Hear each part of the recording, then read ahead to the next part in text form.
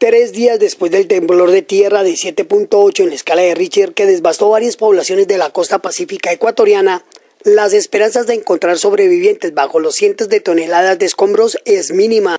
En diálogo telefónico con Telenoticias, el médico Lariano Quintero dijo que las primeras 72 horas de vida son vitales para estos milagros de vida.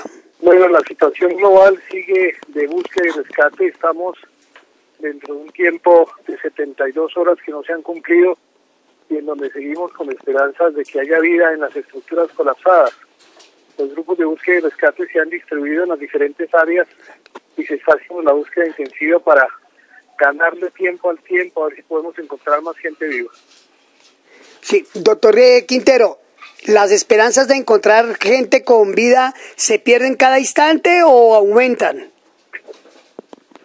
Cada instante se pierde la oportunidad de tener más gente con vida un periodo crítico son las primeras 24 horas desde el momento del desastre y otro periodo de oro puede ser las primeras 72 horas. Ya en adelante cada vez disminuye mucho la oportunidad de encontrar personas que tengan alguna oportunidad.